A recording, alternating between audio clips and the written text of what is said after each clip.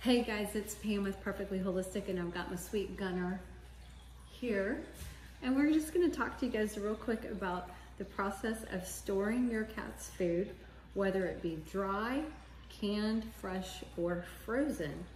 And little known industry secret about when that food actually really expires.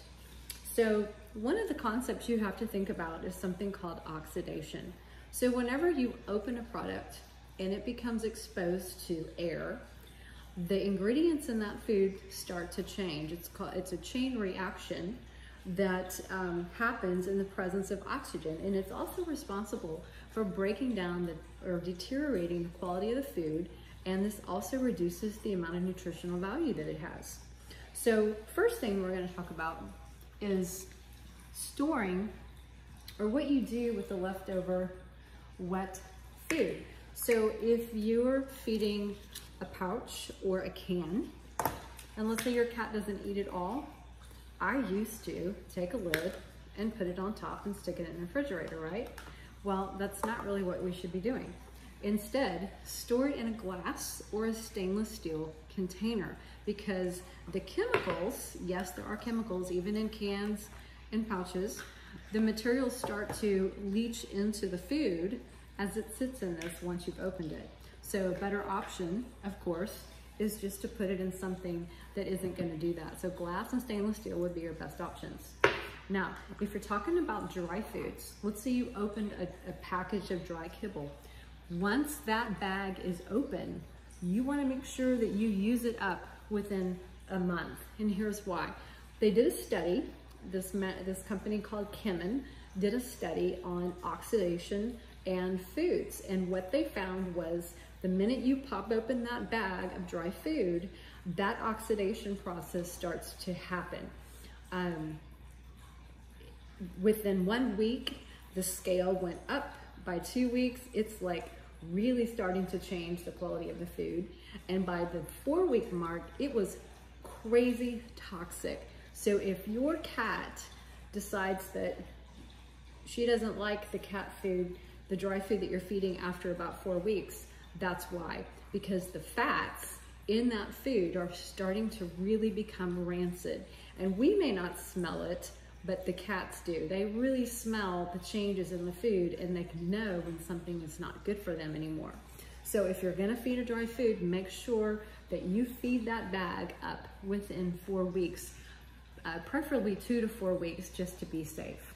If you are feeding a dry food as well, or a freeze-dried or whatever, make sure that you squeeze as much of that air out of the package as you can.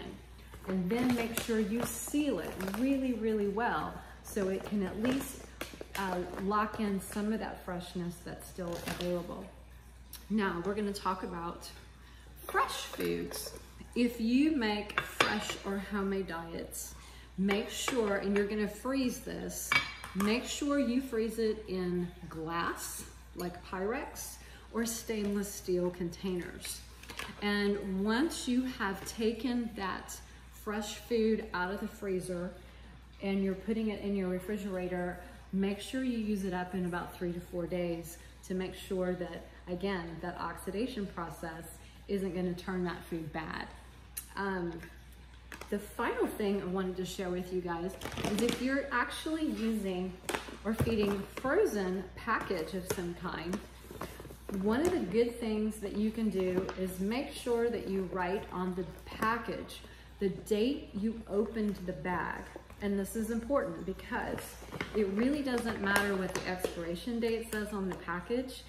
The the clock starts ticking the moment you open the bag. So if it's from the freezer, you wanna make sure that you use that up within three months because after three months, there is there's a huge drop in the nutritional value and they start losing the nutrients in the food. So if you fed, a, if you're feeding a food past that three month mark that's been in the freezer and you've opened it, you really need to start looking at maybe adding some extra supplementation to offset that nutrient loss.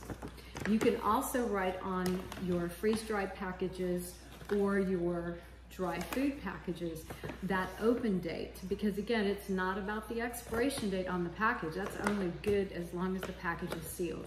But the moment you open it, that clock is ticking and that the potential for rancidity and the deterioration of the food really increases. So I hope this is helpful for you guys.